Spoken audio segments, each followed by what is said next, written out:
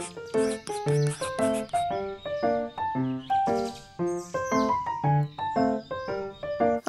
friends. How's it going? Today we are going to be touring an island by Zoo ACNH. One of our community members, Crystal, dropped it over on Discord, and I was just immediately drawn in by how beautifully simple it is. I'm kind of thinking of starting a brand new series on this channel where I start a brand new island. As you can see from this island theme, I do have a lot of castle walls everywhere, a lot of trees, very overgrown, and it's been so much fun doing it. But sometimes it can be a little bit overwhelming. So what I'm kind of thinking of doing is just breaking it up a little bit by having another island where it's a lot more simple. And um, hopefully, this island that we're exploring today will do just that. So, yeah, let's just actually go ahead and head over to my house so we can uh, get started on some island touring. Oh, I already see the oranges. Oh my god, I love what they did with the topiaries and the hedges on the sides around the resident services. And um, wow, this is so beautiful. They have the tiniest little bit of detail that kind of just makes it feel very alive without having too much going on. So if you want to visit the island, the DA is right there at the bottom. They have Hamlet, Bea, Mallary, Spork, Rudy. I love Rudy, Cole, Maple, Tangy, Huck, Gaston, and wow, this map is so simple. It's very flat, and I'm loving that I'm seeing a little bit of terraforming toward the corner there, but not too much terraforming going on right now. This path is so cute. I also think they actually made their own path, so I'm gonna go ahead and just look in here and there, custom designs portal, and um, check it out really quick. All right, so yes, they did make their own path. They also have some sidewalks. These picnic blankets are so cute, and I also really like the different colors that they have going on with this natural path and the leafy borders. They have this uh, little pattern with bread in it, and these fallen tickets, chicket. That's so cute. Looks like their island name might actually just be Nell. The grass is bright and green, and I absolutely love how open everything is. They do have an orange airport, which is perfect for all the orange trees they have laid out. I can't explain it, but it's feeling very Animal Crossing 2020. Very open space, um, a lot of trees, flowers, pops of orange everywhere. I love their usage of these bushes too. They're so good. Oh my god. The vibes of this island are incredible. I can already feel it. Oh wow, look at this little yard here on the side. This is so adorable. We have a little bunny here at the doorstep and um, a little table here. I thought this was maybe a chair for a second, but I think that is actually a table. And I love that they have this little like worn out path here, like a little beaten path, um, just behind that fence there. I actually do want to take a look and see what they have going on inside of this villager's house. Don't know whose it is though, so we'll see. Oh, it's Spork's house. How sweet. It's so simple. Very cute, very fitting for this island. I really, really like it. So, so adorable. Sorry, Spork.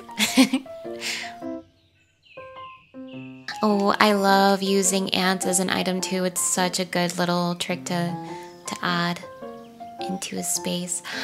Oh my gosh, look at this little picnic they have going on here. And this tiny dropped purse random little lamp. I love this code on their pillows. It's very vintage looking. Wait a minute. I just realized this is meant to look like the painting of that house in the background. Oh my gosh, that is actually genius. I love little details like that. It's also looking like this island is set in the summertime, which is such good inspiration for me right now because for the next island I want to do, I'm kind of thinking of not doing any like major time traveling and just sort of enjoying the summer for what it is because I never really play in the summertime. And look at the summer weeds, they're so pretty. Kind of looks like a little foxtail. This is their little Able sisters. I love this path so much. I can't get over how windy and natural looking it is. I love the way they have this bunch of items with the crates, the barrels, the garden wagon, the little duck just kind of sitting there, and the, all the fruits. This is so, so beautiful. I actually really want to take a closer look and see how they've set up this entire area here with the um, Able sisters and this little house next to it is so precious. Oh my god. They've got a little kitchen set up here at the outside, and this is Bea's house. I absolutely adore Bee so much. She's one of my favorite Animal Crossing dreamies. I'm loving their usage of all the different kinds of fencing. They have the country fencing and the simple fencing. Kind of looks like maybe one of the Able sisters just sits here and like sews a little piece by this small pond they have over here. Very cute. I actually really like the way they've made that pond there. It's very tiny, but it's more of an idea of a pond rather than a fully waterscaped one. Do you remember those little horses you would ride as a kid and you just like drop the coin in? That's what this is. What a good idea. And then it's right next to this carousel and they've got some planks to just walk up into it and uh, have a little ride yourself. Their beaches are very, very simply decorated, but I actually just want to take a look and see what they've done here. So they have a little chess game by a laundry area. So cute. And I'm loving what they've done with the customization of that little piece of cloth on the table there. Oh, little sandcastle dig spot over here. And looks like they have some boats here with some packages. Ooh, this looks like it's part of another area, so I'm gonna go ahead and just kind of go back now. I'm gonna make my way around to what looks to be like an orange orchard. And oh my goodness.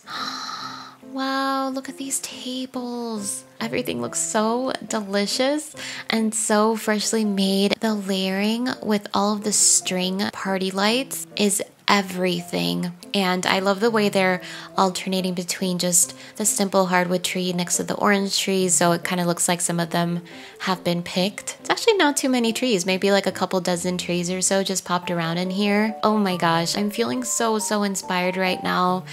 This is stunning. Okay, I'm gonna walk up here behind this little area, and the gnomes have these stalls again with these partitions there, the wooden partitions on the back there, just to divide all of the weeds and the trees.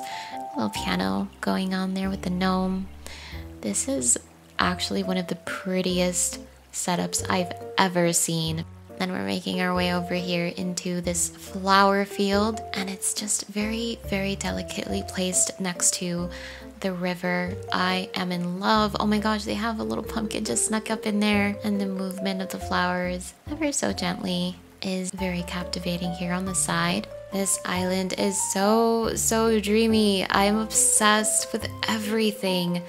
And now we're gonna go across the bridge here on the right of the flower field I'm just loving the transitions too. All of the items just feel like they're placed with purpose without taking up too much space at the same time. The layering of the trees in this bridge is just simply stunning and something about it is giving very Moomin vibes almost. I also love that the house is ever so slightly peeking through the trees there. This house is so precious. Little benches on the side with some books. They've got a little pumpkin garden just snuck up in there. I'm like actually just so in awe with the flow of everything. And again, they have a little beaten path, some villager houses just kind of stacked up next to each other. And the placing of the fencing is just so smart here. Love that there's a little garden door toward the back snuck up in there. Got some seating on the right, some flowers. Again, more carrots, little robot item. Kind of random, but at the same time, I feel like it matches really well with the house there. I'm gonna go inside the house first and then we'll continue around to the left side so we don't miss anything. Okay, so we have this warm toned orange room. I love the colors in here and I love how classic everything feels. All the furniture sort of has this uh, little bit of a modern retro look to it. So this is their kitchen, again, moving along with the orange theme. Love that. I also really like this big dining room table here where you can sit down and just have a little slice of pie with your friends. There's an orange on the counter, of course, because you have to make everything on this island with oranges. Wow, I've never seen this wallpaper before. I really, really like it. It's so nice. It kind of looks like a tropical orange resort. Little simple bed with some shoes placed on the side. Perfect amount of details. You've got a clock, little succulent plant next to your bed, and a place to sit by the window to read a book.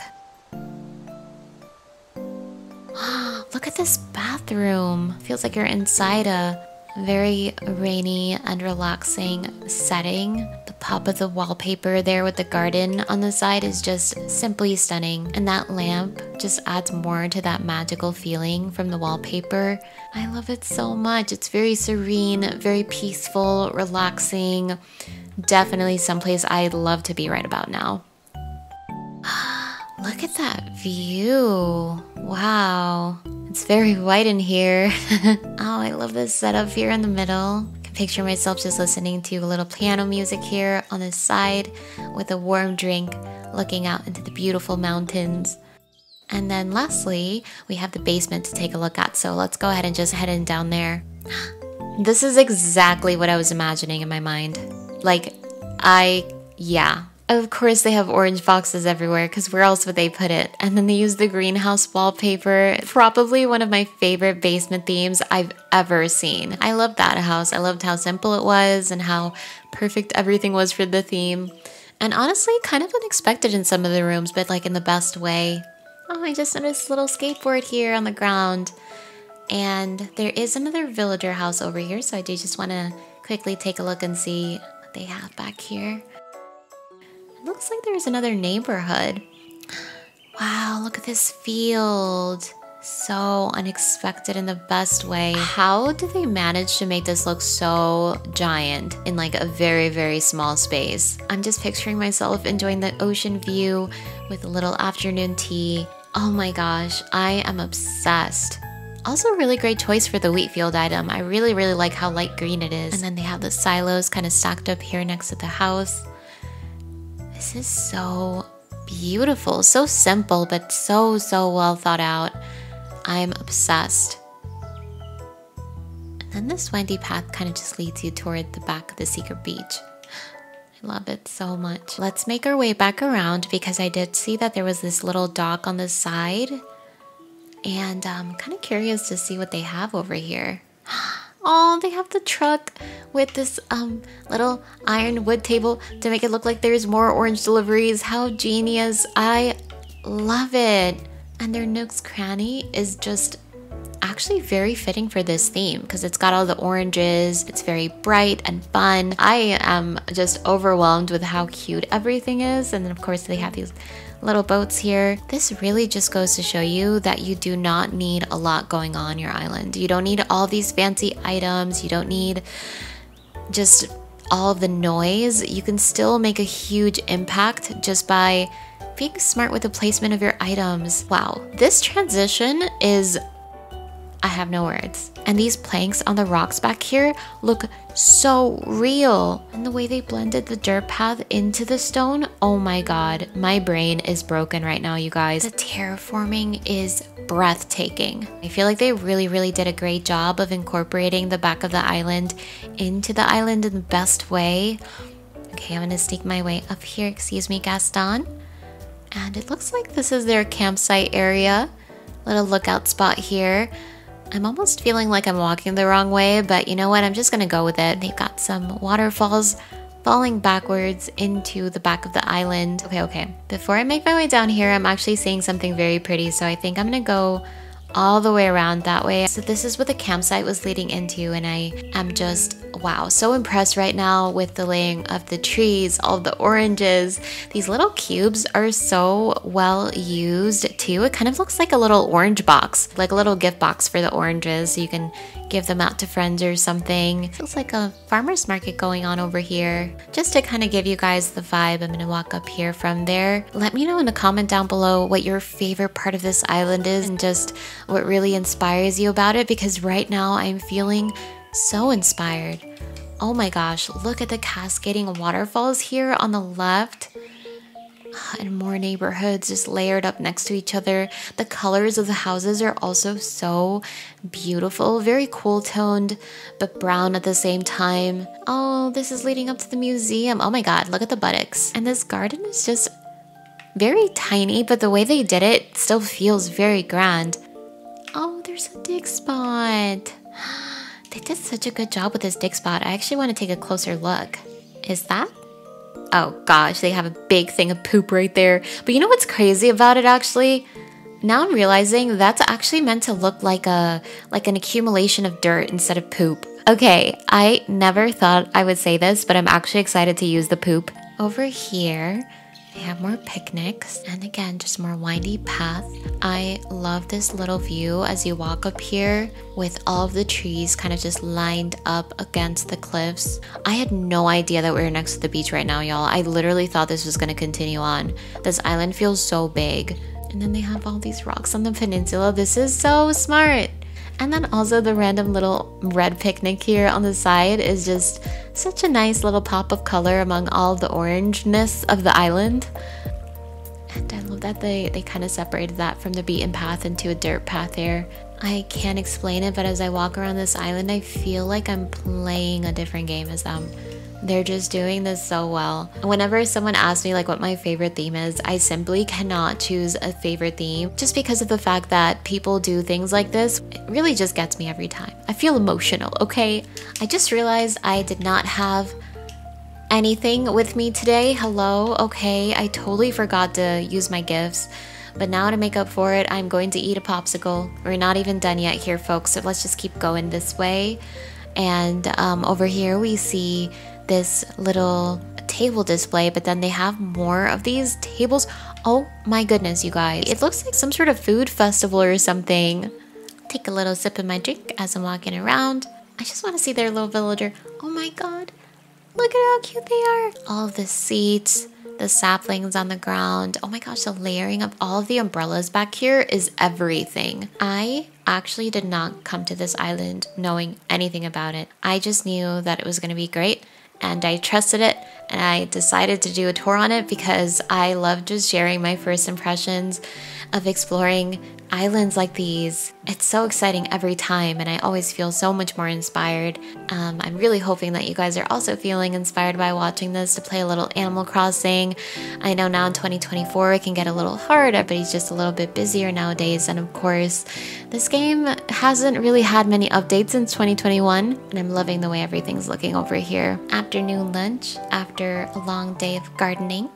Very cute, very nice. Thank you so much for watching this video and enjoying this stunning island with me. I'm honestly so in awe with all of the beauty and whether or not you're into simple islands or maybe feel like you can't accomplish something beautiful, I hope that this really was inspiring to you and showing that you really don't need all of the bells and whistles sometimes.